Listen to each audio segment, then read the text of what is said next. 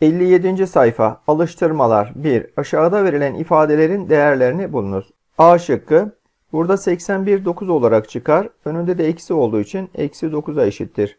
B şıkkı karekök 196 196 14'ün karesi olduğu için 14'e eşittir. C şıkkı bu da 4 2'nin karesi olduğu için 2 diye çıkar. Önünde de eksi olduğu için eksi 2'ye eşittir. C şıkkı 25 25 5'in karesidir.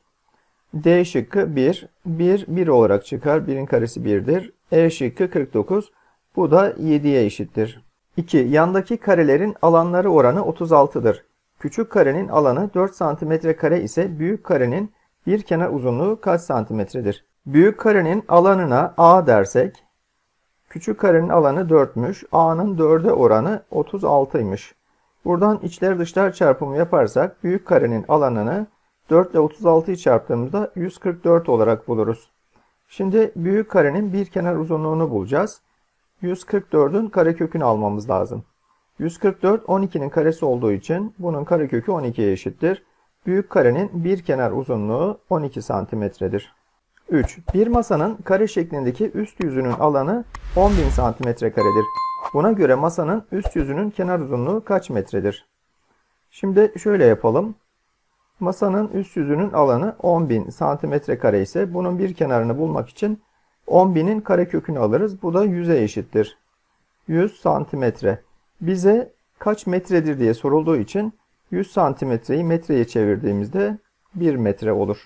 4. Bazı karelerin alanları ile kenar uzunlukları aşağıda verilmiştir. Aynı kareye ait olan alan ile kenar uzunluklarını eşleştiriniz. Alanı 144 cm kare ise bir kenar uzunluğu 12 cm'dir. Bununla eşleşir. Alanı 225 cm kare ise bir kenar uzunluğu 15 cm'dir. Bu da bununla eşleşir. Alanı 196 cm kare ise bir kenar uzunluğu 14 cm'dir. Bununla eşleşir. Alanı 100 cm kare ise bir kenar uzunluğu 10 cm'dir. Bu da bununla eşleşmiş olur. 60. sayfa 1. Aşağıda verilen kareköklü ifadelerin değerlerinin hangi ardışık iki doğal sayı arasında olduğunu belirleyiniz. Şimdi 7 4 ile 9 arasındadır. 4 2'ye 9 da 3'e eşittir. Dolayısıyla karekök 7 2 ile 3 arasındadır. B şıkkı karekök 23. Karekök 23 karekök 16 ile karekök 25 arasındadır. 16 4'ün karesidir. 25 de 5'in karesidir. Dolayısıyla karekök 23 4 ile 5 arasındadır. C şıkkı karekök 53. Karekök 53 karekök 49 ile karekök 64 arasındadır. 49 7'nin karesidir. 64 de 8'in karesidir. Dolayısıyla karekök 53 7 ile 8 arasındadır. C şıkkı karekök 27.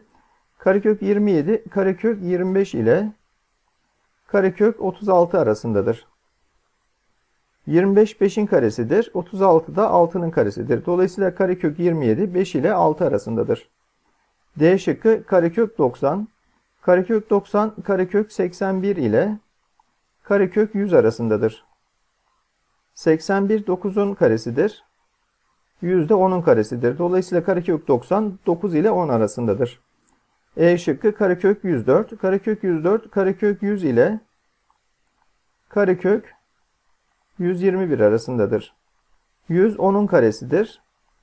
121 ise 11'in karesidir. Karekök 104 10 ile 11 arasındadır. 2. Aşağıda verilen kareköklü ifadelerin değerlerinin hangi ardışık iki doğal sayı arasında olduğunu bularak noktalı yerlere yazınız. Verilen kareköklü ifadenin değeri hangi doğal sayıya daha yakınsa o sayıyı yuvarlak için alınız. Şimdi 252 karekök 225 ile karekök 256 arasındadır. 225 15'in karesidir. 256 da 16'nın karesidir. Karekök 252 16'ya daha yakındır. B şıkkı karekök 30. Karekök 30 karekök 25 ile karekök 36 arasındadır. 25 5'in karesidir. 36 da 6'nın karesidir. Karekök 30 ise 5'e daha yakındır. Karekök 5, karekök 5, karekök 4 ile karekök 9 arasındadır. 4 2'nin karesidir. 9 da 3'ün karesidir. Evet karekök 5 karekök 4'e daha yakın olduğu için 2'ye daha yakındır. Ç şıkkı karekök 7. Karekök 7 karekök 4 ile karekök 9 arasındadır. 4 2'nin karesi 9 da 3'ün karesidir. 7 9'a daha yakın olduğu için karekök 7 3'e daha yakındır. 3. Kareköklü ifadeler ile bu ifadelerin değerlerinin en yakın olduğu doğal sayılar eşleştirildiğinde hangi doğal sayı açıkta kalır? Şimdi karekök 12 bu karekök 9'a yakındır. Karekök 9 da 3'tür. Bununla bu eşleştik. Karekök 42, karekök 42, karekök 36'ya yakındır. Karekök 36 da 6 olduğu için bu bununla eşleşir. Karekök 30, karekök 25'e yakındır. Karekök 25 5'e eşit olduğu için bununla bu eşleşir. Karekök 18, karekök 16'ya yakındır. Bu da 4'e eşit olduğu için bununla eşleşir. Açıkta kalan buradaki 7'dir.